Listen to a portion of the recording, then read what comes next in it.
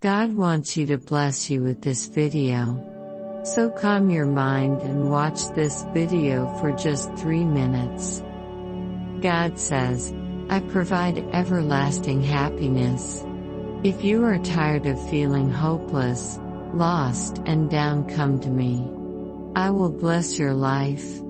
I am here for you. It's time to love. There is too much hatred around. I need you to love regardless of the differences between one another. I need you to show compassion and straight love. You can accomplish many things, but if you're not committed, then you won't succeed. Above all, give me all your plans. I will mold them to what I see best in your life. I don't think you're a failure. So you can rest assured that whatever anyone else is saying is not correct. Focus on what I believe about you.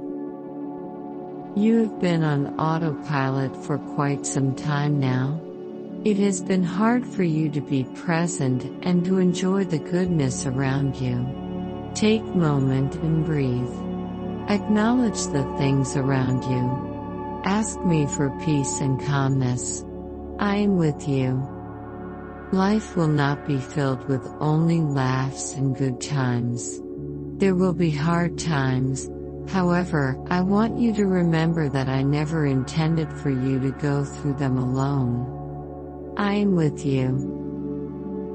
Allow my peace to live in you. I want you to take a break. I need you relax. I will guard you. Keep a cool head. Everything will be good. Things can potentially get bad, but in the end it will work out.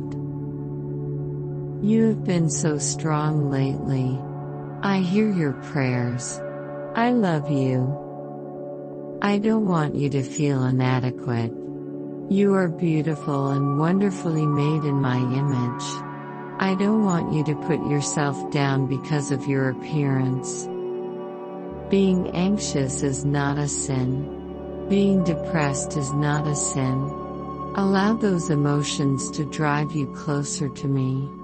Know that I can heal you. I'm not going to let you down. I need you to rise up. I need you to rejoice because you are my child and you are protected. I love you. Listen to my voice, I will guide you where to go. I will make your path straight. I will not fail you. Like this video and type thanks if you believe in God and want to thank Him for everything He gives you.